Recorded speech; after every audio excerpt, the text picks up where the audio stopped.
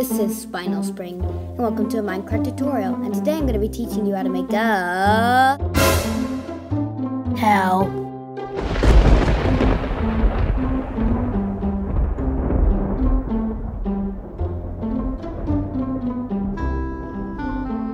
Okay, to start off your cow, you're going to want to place black stained clay 4x4 around there and then after that you're gonna want to um, get your brown stained clay out and then you're gonna go around that um, black stained clay and then bring it up three blocks high. So you're gonna bring it all the way around three blocks high the black stained clay. And then when we're done doing that we're gonna move on to the next step of the leg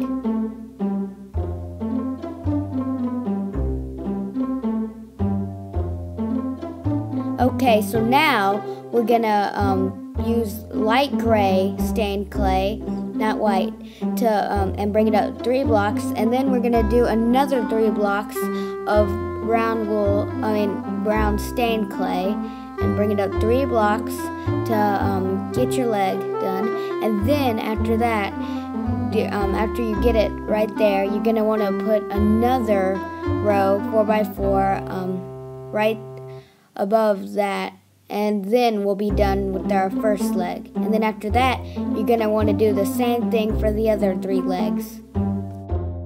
Okay, so this is what the cow looks like when you've gotten all four legs done. So if we go down here, you can see that it's four across this way, and then it's um, and then here it's nine across. So let's move on to the next step.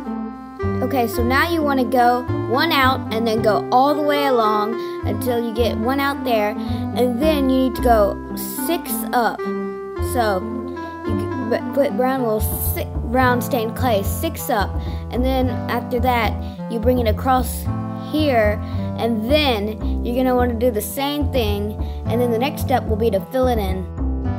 So this is how it should look when the body's filled in. And as you can see, I've done all those little white areas right there. And you can do it however you want. You can make it look like the, the real cow Minecraft does or not. So now we're going to move on to the udders.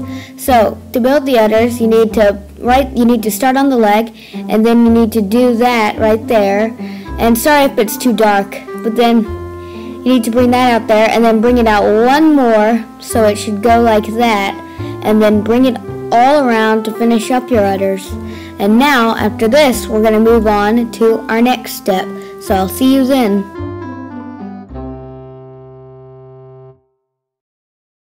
So this is how the cow looks when its head is completely done. So if you want to pause the screen, um, to see how it looks, then do that. And then it looks like that on this side, and it looks exactly the same on the other side. So basically, we're done with the cowl, and that's the end of this video. Thank you very much, everyone, for watching, and I will see you all later. Bye!